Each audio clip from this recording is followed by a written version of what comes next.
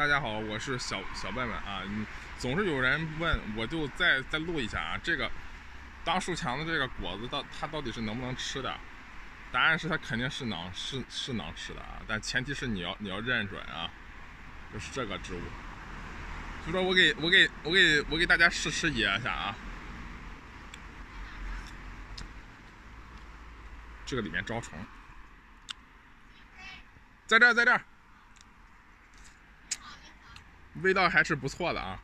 啊，这个里边也有也有也有虫，所以说这是能吃的啊，大家不要不要担担心，味道还是挺好的。